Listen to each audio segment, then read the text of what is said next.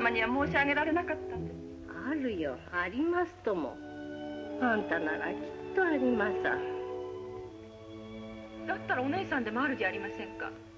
自分勝手なんよ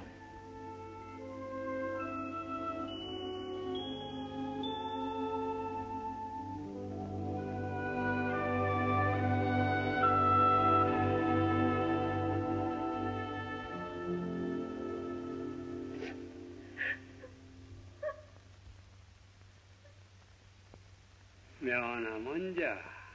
自分が育てた子供よりいわば他人のあんたの方がよっぽどわしらに用してくれた。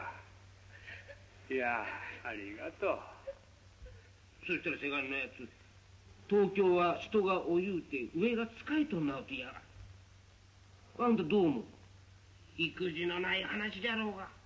関東精神言うんが何にもない。わしはそんなつもりで育てたんじゃない。あんたの言うことはようわかる。あんたの言うようにわしも不満じゃ。じゃがのう沼田さん。これは世の中の親っちゅうもんの欲じゃ。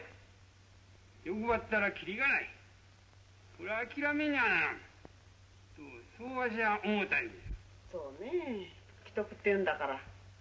行くなら早い方がいいわね。この間の記者どうかしら。うん。しかし後のことも頼んでいかなきゃならんからな。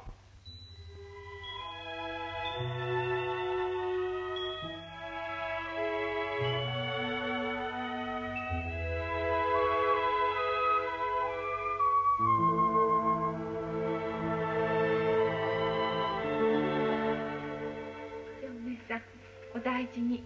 え？ありがとう。あなたもね、きっといらっしゃいね。夏休み。うんじゃあさよなら。さよなら。行ってまいります。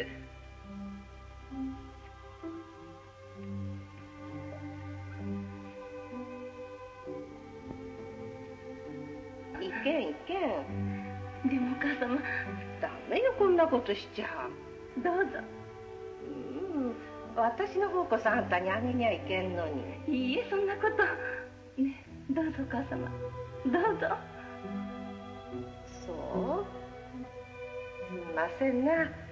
じゃいただきます。どうぞ。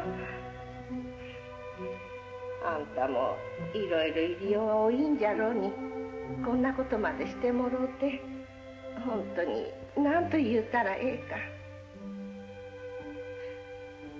ありがとうよのりさん。ありがとさあお母様呵 呵